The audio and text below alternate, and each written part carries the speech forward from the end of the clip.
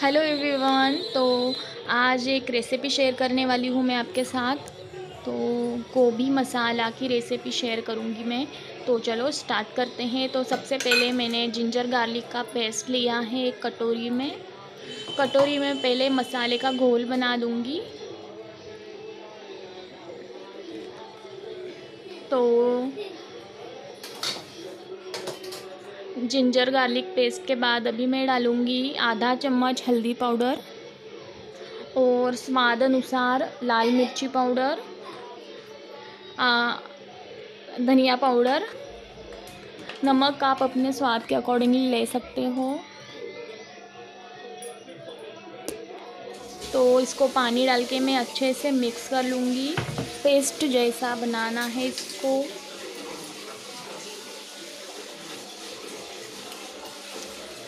तो ये हो गया।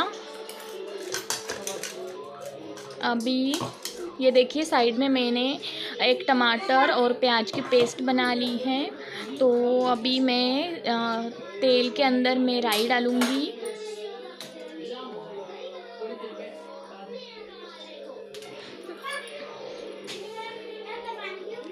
राई को अच्छे से क्रैक होने के बाद में मैं डालूँगी आधा चम्मच जीरा।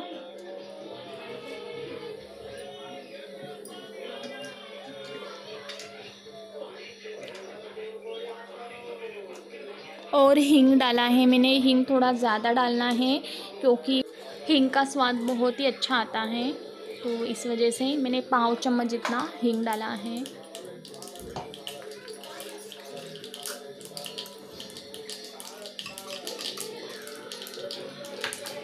इसके बाद में डालूँगी टमाटर और प्याज की पेस्ट।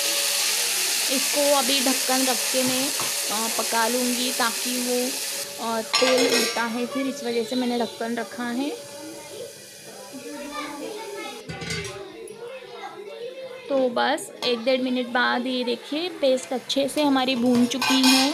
अब इसके अंदर में मसाले का का जो हमने पेस्ट बना के रखा था उसको मैं मिला दूँगी।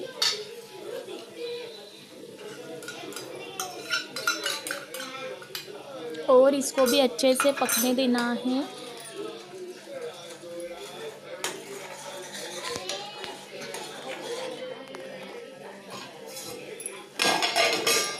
तो मैंने ढक्कन रख दिया है अभी और जो भी हमने मसाले बनाए थे वो कटोरी को मैं अच्छे से पानी डाल के खंगाल लूँगी और मिक्सर के बर्तन में से अच्छे से इसको ऐसा मिक्स करना है।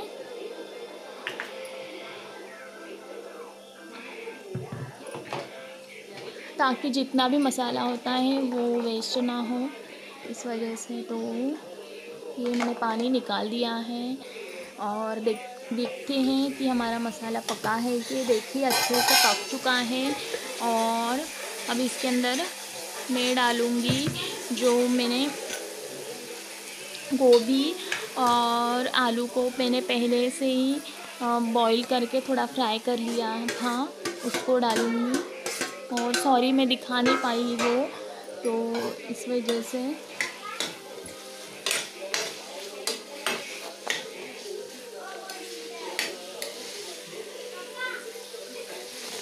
तो गोभी को अच्छे से आ, मिला लेंगे मसाले में। एक दो मिनट के लिए मैं इसी तरह से इसको पकाऊँगी।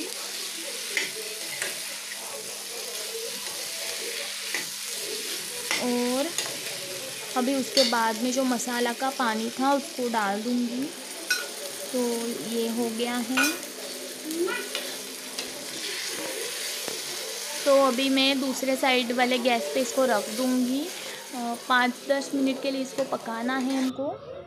देन अभी साइड में मैं कस, दो चम्मच कसूरी मेथी को भून ले रही हूँ। भूनने से बहुत ही अच्छे से स्वाद आता है इसका। तो इसको मैं अभी भून लूँगी। थोड़ा सा भूनना है।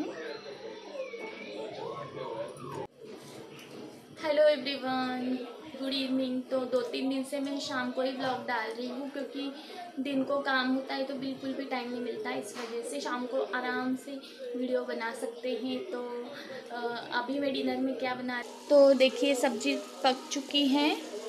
इसके ऊपर मैं ये कसूरी मेथी डालूँगी।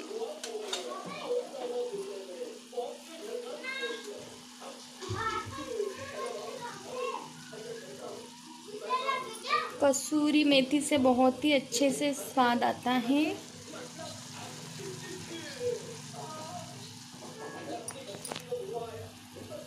तो आज की रेसिपी कैसी लगे मुझे बताना। तो देखिए, अभी हस्बैंड ने भी कॉम्प्लीमेंट दे दिया है मुझे। तो मिलते हैं मेरे ऐसे ही इंटरेस्टिंग रेसिपी के साथ। तब तक के लिए बाय बाय